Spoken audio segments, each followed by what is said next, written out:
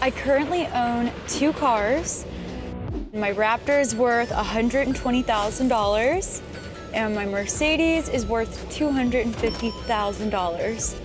Today I'm meeting up with my car guy Miguel. He's going to be surprising me with a car that I just might like. Oh my God! How long have we known each other again? It's gonna be like six or seven years. You remember when you were driving the Honda Accord? Yeah. Learner's permit.